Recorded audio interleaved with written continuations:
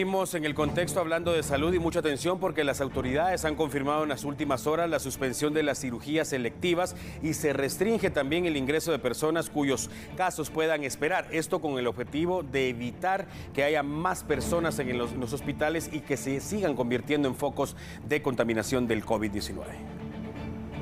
nos hemos trasladado hacia el Ministerio de Salud Pública y Asistencia Social y es que le dimos seguimiento a un tema, una circular que ha sido publicada en diversas cuentas en redes sociales haciendo referencia a que el coordinador general de hospitales ordenaba a los directores de los distintos hospitales a nivel nacional a que pudieran suspender temporalmente las cirugías electivas y también el ingreso de pacientes que no tenían una necesidad emergente para ser atendidos. ¿Por qué se da esta situación? ¿Por qué se da esta orden? Porque se ha generado un repunte de casos de COVID-19 en el país y no se quiere contagiar a más personas. Hemos ya consultado con las autoridades competentes del Ministerio de Salud Pública y Asistencia Social y nos han indicado que en efecto esta circular es verídica circular 72-2021, de 2021, perdón, emitida por el doctor Raúl Adolfo Armas, coordinador general de hospitales, y fue dirigida a los directores ejecutivos